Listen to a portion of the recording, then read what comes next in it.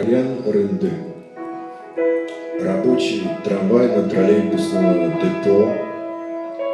Сергей Рында пристрастился к курению кальяна.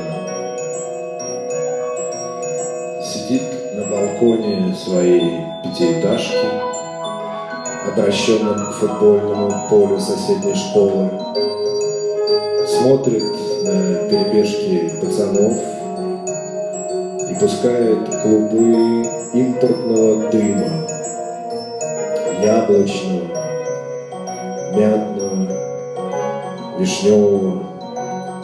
Вчера он пришел в скандинавский банк, активно оперирующий в его родной стране, и сказал клерку, с которым встречался по поводу кредита на машину. А вот в исламском банкирском деле не существует такого понятия, как суда, лизинг или проценты. Клерк посмотрел на него скучным, как очередная анкета взглядом. Теперь машина Сергея стоит в каком-то загоне на окраине, где рядами пылятся еще сотни отобранных, вырванных с баранка из чужих рук автомашин. А Сергей по-прежнему курит кальян и только улыбается, когда соседские мужики со своих балконов дразнят его Мустафой.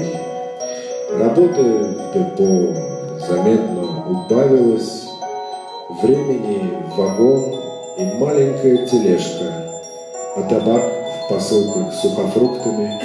Ему присылает его приятель, пять лет назад переселившийся в Израиль водитель трамвая шестого маршрута Борька Вайнштейн. В ответных посылках Сергей шлет ему странички юмора, вырезанные из местных и российских газет. Сергей запивает дым яблочным чаем из стеклянного стаканчика.